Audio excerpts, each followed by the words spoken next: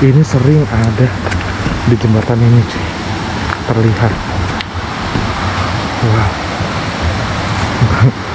ini mah creepy banget sih. Set dari jendelanya begini ya. Oh my god. Oke kita coba tester cuy. Oh ramping-ramping banyak banget. Uh. Creepy bener-bener creepy cuy. Nah ini kayaknya nih yang semak-semaknya nih. Soalnya katanya ditemukan di bagian semak-semak di bawah jembatan. Berarti ini kali ya?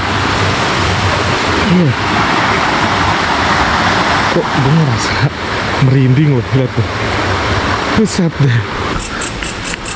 Ya ini yang tadi gue ceritain kali ya mbak. Ngapain di situ malam-malam mbak iya mbak. Mbak. Sendirian aja ngapain sih?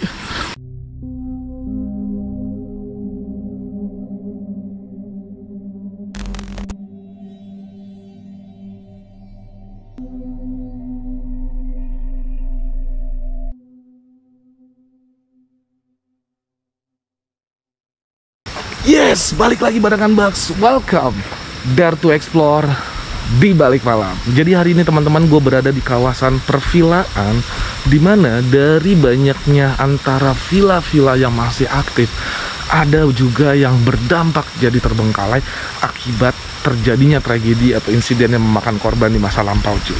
Jadi ceritanya ada satu villa yang menarik di mana pernah ditemukan sesosok wanita tanpa busana pada saat tahun 2018 dan ketika gue coba untuk gali dan lansir cerita ini katanya kononnya ya cuy ini wanita bekas diperkaos cuy sama beberapa pria-pria yang memang hidung belang. Tapi waktu pada saat ditemukan itu katanya di bawah jembatan di semak-semak gitu cuy tanpa busana. Dan ketika pada saat itu akhirnya cuy berita ini menyebar lah sehingga mengakibatkan atau berdampak villa-villa ini sepi pengunjung. Banyak orang-orang yang tadinya awalnya menginap di sini karena villa-villa di sini lumayan cukup bagus ya kan. Ini di daerah Dago Atas Bandung teman-teman. Dan villa ini lumayan cukup bagus, murah, pemandangannya juga oke. Jadi untuk kalian semua yang still stay, jangan lupa ya teman-teman. Pokoknya sempetin komentar di bawah deskripsi. Enjoy di balik malam. Kita langsung gas untuk kalian semua yang still stay. Ingat, jangan nonton sendirian, apalagi di kamar. Ya teman-teman kita langsung aja. Wah ini ada villa lagi nih. Cobalah kita gas. Bisa gak ya kira-kira kebuka nih cuy. Eh, ada. Kayaknya cuma hanya eh ada dua kamar deng satu dua terus di situ bagian dapur dan kamar mandi. Nah sama ruang tamu kecil. Tapi bisa gak buka ya? Nggak bisa ini cuy. Oh my god. Oke so kita coba ke bagian yang ini nih teman-teman gue penasaran ya dari antara banyak villa ada satu villa yang menarik cuy di sini. Ini ada sebuah posko atau balai. Itu creepy banget loh. Wah ini dia villanya. So teman-teman ini ada air terjun. ini bukan air terjun sih, lebih tepatnya kayak aliran dari gunung ya teman-teman. Nah itu kalian lihat ya. Itu ada villa. Nah di villa inilah cuy kejadian cuy yang di awal tadi Bax ceritakan. Tapi kita langsung aja menelusuri bagian mana sih sebenarnya dari bagian cerita tersebut. Gue pengen lihat dulu deh kita review sedikit. Siapa tahu kita bisa masuk. Juga cuy. Yes Damn. Ya salam. Ini ada patung creepy juga ya cuy. Oh my goodness.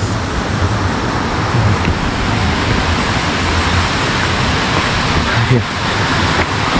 Halo. Masih ini. Besok. Bagus nih padahal ya teman-teman kalau bisa dikunci wah. Unbelievable cuy ini daun-daun udah pada tumbang. Dan ini look at this. Ini pohon gede-gede banget ya. Pohon cemara cuy. Masalah itu ada betap sini ada pintu lagi nih. Cuman gue penasaran pintu ini masih bisa dibuka gak bisa cuy. Ya. Nggak bisa teman-teman. Oh my god. Wow. Wow. Ini air menjelujur ke bawah sana cuy. Ya. Kalian bisa lihat ya. Di sini ada pintu lagi tapi memang sebenarnya pintu ini terkunci ya. Jadi nggak bisa nah gue penasaran bagian di atas teman-teman. Kita langsung coba untuk ke atas tapi kita harus lewat sana. Oh, nah di sana ada musola yang dibatasi langsung menuju ke arah rumah warga teman-teman. Nah di sini gue pengen sedikit jelasin sama teman-teman semua yang still stay bahwa waktu dulu di tahun 2018 teman-teman pernah ditemukan mayat seorang wanita tanpa busana cuy. Dan dilansir cuy semenjak kejadian itu villa-villa yang area di sini tuh banyak yang ditinggalkan. Karena dibilang seperti dikatakan angker gitu teman-teman. Dan kita harus menuju lewat sini nih. Jembatannya cuy. Nah semenjak pada saat itu cuy jadi yang musola ini warga sering mendengar suara rintihan menangis teman-teman. Dan konon katanya mayat tersebut dibuang di semak-semak di bawah jembatan tanpa busana. Oh my goodness. Nah ini musola nih teman-teman. Mena- menghadap langsung ini musola warga. Karena ini tembok ini batas teman-teman. Yes. Oke kita lewat jembatan ini ya cuy. Nah katanya sosok wanita tersebut ini sering ada di jembatan ini cuy terlihat. Wah. Ini mah creepy banget sih. Set dari jendelanya begini ya. Oh my god. Oke kita coba tester cuy oh ramping-ramping banyak banget. Uh. Creepy bener-bener creepy cuy nah ini kayaknya nih yang semak-semaknya nih. Soalnya katanya ditemukan di bagian semak-semak di bawah jembatan. Berarti ini kali ya? Iya. Kok gue ngerasa merinding loh lihat tuh. Buset deh. Oke kita telusuri dulu deh teman-teman. Gue males juga lama-lama di sini. Ya bisa kayak serem banget ya. Oh kan? Itu langsung rumah warga teman-teman. Kan bisa lihat ya. Jadi itu batasnya dari villa ini. Dipagerin semua. Ini musola warga itu rumah warga. Jadi orang yang kalau lihat punya rumah di sana ngeliat ke arah sini tuh terlihat cuy gitu. Nah sering banget nongkrong di situ katanya tuh. Si Kunti. Ya nggak bisa dibuka lagi guys. Aduh sayang banget. Tapi the believe or not percaya atau tidak sosok wanita tersebut tanpa busana yang ditemukan di sini tahun 2018 kira-kira hasil apa ya cuy? Yang gua dengar sih katanya habis bekas diperkaos gitu teman-teman. Cuma diperkaos di mana? Di villa ini kah? Wow. My god. Gue merinding sih demi apa pun ini pohonnya juga tinggi banget. Bulannya bulan pusat tuh kalau kalian lihat tuh itu bulannya bulan purnama. Bulan bener-bener utuh terang menderang cuy. Gokil. Oke kita coba lihat dari sisi samping. Kira-kira kalau ke bawah serem nih. Wah ini mah bisa jadi ada yang melata juga ngeri juga ya cuy. Oh my god aduh banget ya teman-teman ya. Asli deh ini sayang banget sih. Asli ini sayang banget teman-teman. Gila jadi terbengkalai begini. Halo. Aduh, bentar sini. Eh, ada suara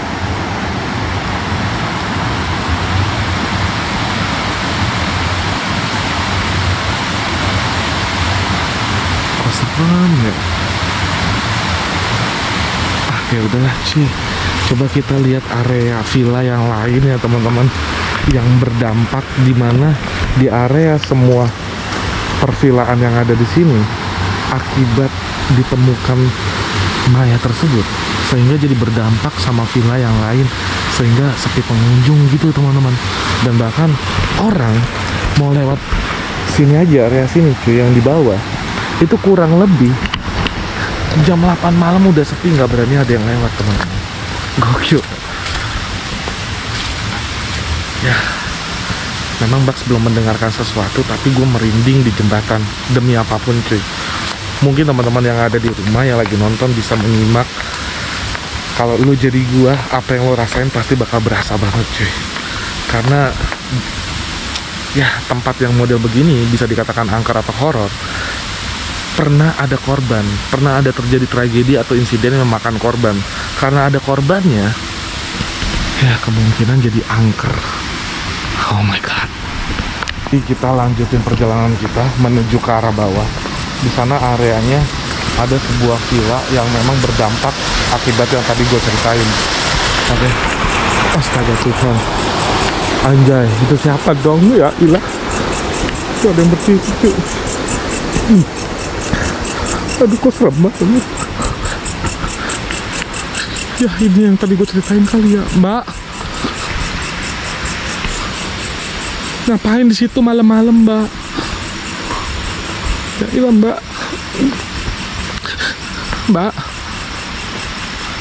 Sendirian aja ngapain sih? Udah malam lo ngapain di situ? Ya ilah bawa bak lagi. Astaga Tuhan eh, eh, eh, eh, eh, eh. Patung. Eh buset eh, patung cuy. Bukan bawa bak ya bok bok kendi lagi. Ngapain lagi nih patung? Ah lo ada aja lo dari jauh lo buset Oh my my. Aduh Ngeselin banget dah. Ini lagi ngapain lagi nih? Senang-senang aja lu. Ah gila Hmm. Oke teman-teman. Kita lanjut lagi Nah ini nih villa yang gua maksud Ya. Aduh kok Maaf ya teman-teman ya. Tadi Biasalah Kaget cuy Spontan cuy. GG pro player gitu kan. Pokoknya tetap kita ladenin ya kan. Ada yang begitu mah eh lah kagak usah cabut. Nggak usah mundur cepet santuy gitu loh. Duh ini bisa gak ya? Mana ya kira-kira ya? Bawah bisa gak ya cuy mudahan nih tapi creepy juga nih. Bangunan terbengkalai. Ya salam. Aduh ada pohon bambu lagi. Ya salam. Ini nih saking sudah lama tidak ada yang huni jadinya terbengkalai gitu aja. Oh my god. Halo? Ada suara dari sana. Oh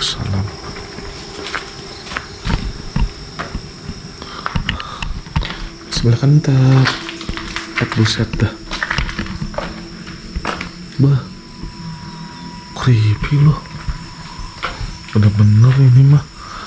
Teman-teman look at this kalian bisa lihat ya ini sampai bener-bener hancur cuy. Sayang banget nih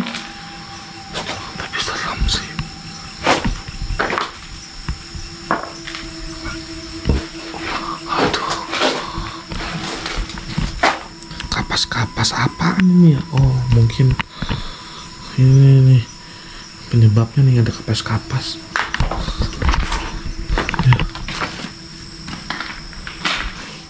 Ini meja untuk TV kayaknya. Ini kamar. Buset kamarnya begini teman-teman. Sini dapur. Dan ini mentok terus lantai duanya lewat mana ya? Ya salam. Kok gue jadi bingung lantai dua lewat mana? Udah pokoknya teman-teman kita coba lihat keluar siapa tahu ada tangga di situ ya. Ini dia nih tangganya nih. Cuman nih kayaknya udah rapuh ya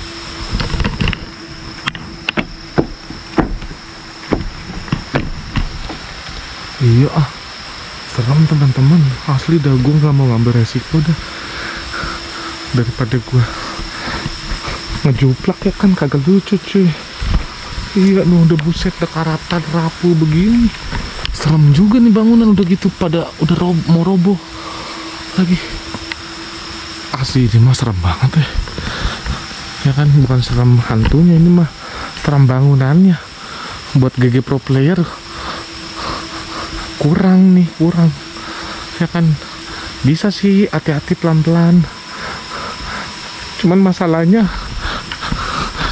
ragu cuy. Ah ilah horor banget dah. Halo siapa tuh? Oh di bagian sana ada villa juga teman-teman. Kalian bisa lihat gak sih? Tuh di ujung Ah, buset, gue kira kuntilanak merah. Aduh, toren air ternyata cuy. Nah, di sana tuh banyak banget teman-teman di bawah sana. Semua villa-villa terbengkalai. Sebenarnya ada yang beberapa aktif. Cuman kan gue nggak mungkin bisa explore semuanya karena pasti dikunci. Karena masih aktif gitu kan. Ini ada perahu terbengkalai nih teman-teman.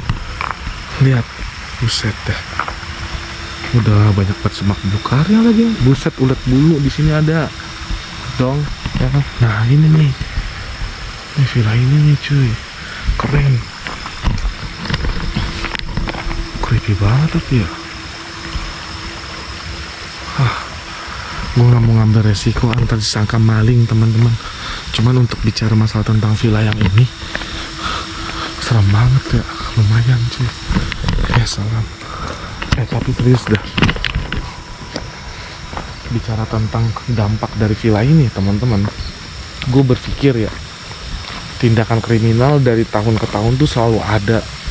Gue pengen ngajak kalian untuk tetap berhati-hati khususnya buat seorang wanita yang masih muda belia dan gue berharap dari antara semua orang yang nonton videonya Bak Triple 8 atau mungkin teman-teman atau bapak-bapak ibu-ibu yang punya anak masih gadis. Ya bukan cuma hanya gadis tapi masih bujang pun juga. Dunia ini udah semakin tidak sehat. Dunia ini sudah semakin semerawut dunia ini udah semakin edan dan bahaya. So gue memperingatkan untuk kalian semua untuk tetap berjaga-jaga untuk tetap berhati-hati. Karena inilah suasana di negeri kita bukan cuma hanya di negeri kita tapi di seluruh dunia saat ini harus tetap berhati-hati dan berjaga-jaga. So kuatkan iman juga. Tetap berkumpul sama keluarga sayangi keluarga kalian. Jaga mereka dengan baik. Perhatikan orang tua kalian juga. Lebih baik kalian sibuk dengan hal-hal mereka daripada ketimbang dengan duniawi yang sekarang cuy. Oke okay? jadi teman-teman semuanya still stay paling tidak eksplorasi malam ini untuk kalian di balik malam seperti itu dulu. Terima kasih enjoy di balik malam. Salam toleransi. God bless you always